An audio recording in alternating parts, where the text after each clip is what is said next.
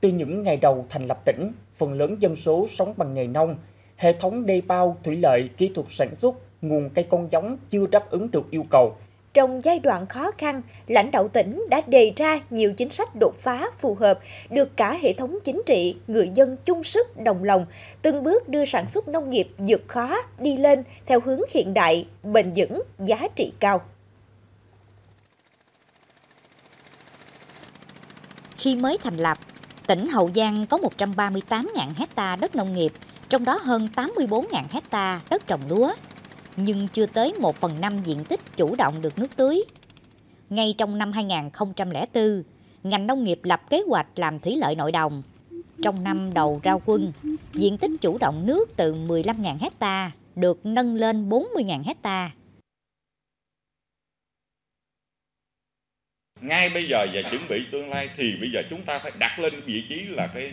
là cái cơ cấu về công nghiệp. Rồi tới đó là cái thương mại rồi dịch vụ gắn vấn đề là nông nghiệp ừ, mà nông nghiệp ở đây là vấn đề là nông nghiệp chất lượng cao tỉnh tiếp tục phát động chiến dịch 100 ngày làm giao thông thủy lợi mùa khô. Trong 100 ngày chiến dịch, khối lượng công việc hoàn thành đạt tới hơn 35% tổng mức kế hoạch thủy lợi, giao thông giai đoạn 2005-2010 của tỉnh đề ra. Chưa đầy 2 năm thành lập, tỉnh Hậu Giang khép kín hơn 77.000 hecta đất nông nghiệp, chủ động được nước tránh lũ triều cường, sản xuất của người dân ngày càng hiệu quả ổn định. Trăn trở ở đây là làm sao để làm được cái việc gì mà để nâng cao được cái đời sống cho người dân mà cái tỉnh Hậu Giang nó phát triển có thể trong một thời gian ngắn nào đó đuổi kịp với các tỉnh bạn ở trong vùng. Tranh thủ vận động quần chúng nhân dân là ra sức thi đua, lập thành tích, làm những cái việc gì mà có có lợi cho cái tỉnh nhà, có lợi cho cuộc sống người dân. Ngày 28 tháng 4 năm 2009, hệ thống đê bao ngăn mặn Long Mỹ Vị Thanh dài 111 km được khởi công đánh dấu bước đầu tư bài bản của tỉnh để bảo vệ thành quả sản xuất của người nông dân trước thách thức của biến đổi khí hậu. Hệ thống đê bao giúp ngọt quá gần hết diện tích đất nông nghiệp của huyện Long Mỹ, thành phố Vị Thanh, nơi chịu ảnh hưởng rất lớn của nước mặn xâm nhập từ triều biển Tây. Công trình khép kín 30.000 hecta đất nông nghiệp, người nông dân ở đây dần thoát cảnh chạy mặn hàng năm. Quán triệt xây dựng cái nghị quyết của tỉnh rồi à, cái kế hoạch điều hành của ủy ban à, xác định từ cái lộ trình bước đi à, có cái chỉ đạo trọng tâm trọng điểm tạo những bước đột phá mới trên lĩnh vực nông nghiệp nông dân và nông thôn. Từ khâu uh, quy hoạch Ờ, đến các cái khâu tiếp theo thì làm nó cũng trình tự đúng theo cái chỉ đạo của trung ương và vận dụng vào cái điều kiện cụ thể từ năm 2014, tỉnh tiếp tục triển khai đề án 1000 để xây dựng các mô hình sản xuất nông nghiệp khép kín, hướng đến ứng dụng công nghệ cao, phát triển nền nông nghiệp sạch, bền vững. Cây chanh không hạt bán duyên trên nền đất Hậu Giang từ năm 1999. Ban đầu diện tích chỉ có 17 hecta.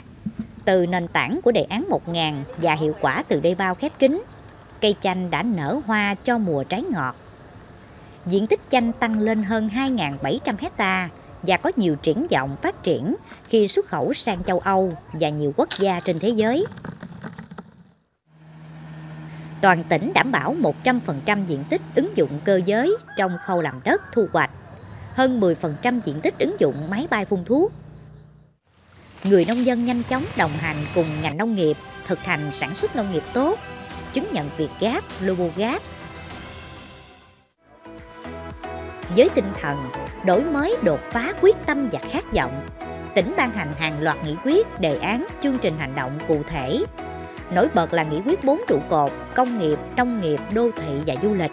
trong đó, nông nghiệp đóng vai trò là trụ đỡ của nền kinh tế với quan điểm rõ ràng là phát triển nông nghiệp theo hướng bền vững, nâng cao chất lượng, hướng người nông dân đổi mới tư duy làm kinh tế nông nghiệp thực hiện nghị quyết đại hội toàn khóa của Đảng bộ tỉnh Hậu Giang đã đề ra mục tiêu là nâng tầm và phát triển Hậu Giang trở thành tỉnh khá trong khu vực và tiến tới cả nước.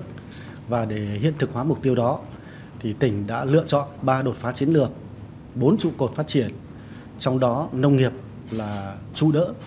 Với à, nghị quyết à, phát triển bốn trụ cột thì tỉnh ưu tiên mời gọi các à, doanh nghiệp sản xuất nông nghiệp ứng dụng công nghệ cao, các doanh nghiệp chế biến nông sản và nông nghiệp sinh thái.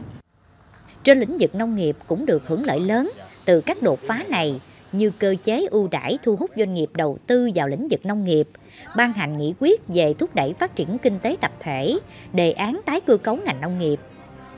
Muốn tăng cái giá trị này thì chúng ta phải tập trung vào cái sản xuất theo hướng sạch, hướng an toàn